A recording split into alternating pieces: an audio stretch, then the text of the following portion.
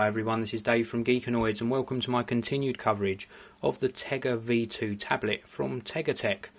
Now if you haven't seen my previous videos on this particular device, please head on over to my main channel page.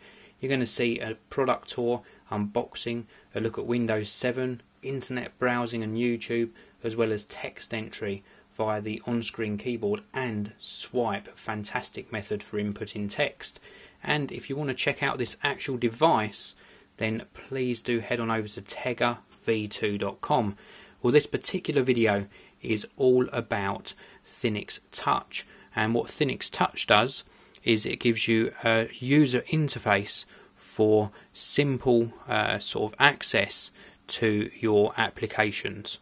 So this is what you're presented with when you launch Thinix Touch we've got some really nice icons. They're all pre-designed and you get a massive library of icons for various applications and tasks. If you install an application that isn't in the library, you can very easily add it to the library at a later stage. So we've got this grid of eight icons. We've also got tabs at the top. If I go across to the Office tab, if I can just get it to um, go across to Office, here we go.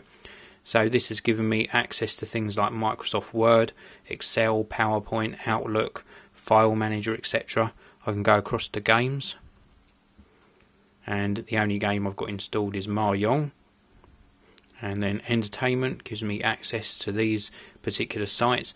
These are all going to launch the um, actual Internet Explorer or Internet browser I've got installed, but you get the idea. It gives nice large icons that I can tap on accessories gives me access to these particular accessories.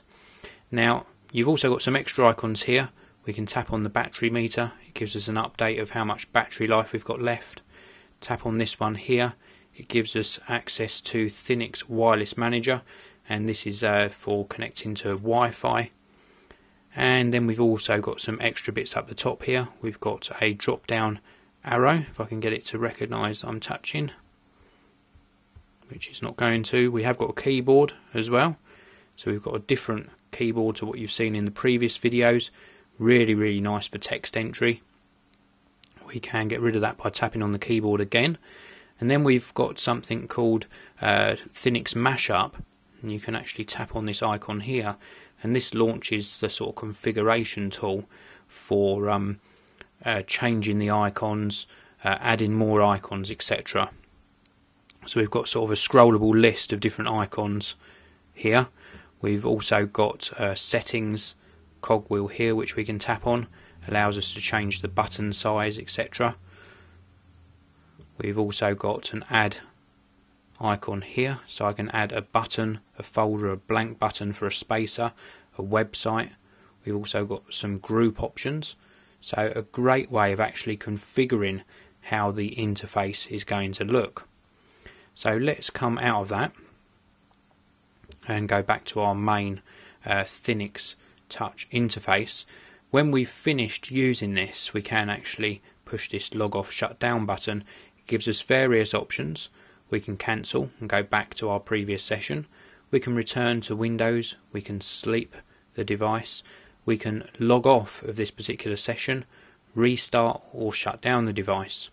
So let's go back to our current selection, just have one last look at this interface. I think they've done a really good job of putting together this particular interface. Nice big icons, a nice overlay to Windows 7, and I think it is fantastic to use. So really good addition to this particular device. Now Thinix Touch is going to be updating very soon to a new and more polished interface with some new features, so keep an eye out for that in the future. But for now, this was my look at Thinix Touch on the Tega V2 tablet. Please do keep checking back on the Geekanoids channel for more video coverage on this device and other great reviews and news. If you like my videos, please subscribe to the channel. And if you want to get my regular updates, please follow me on Twitter by following at Geekanoids. Until next time, have a great day. This video review is sponsored by EazyDraw, making drawing fun on Mac OS X.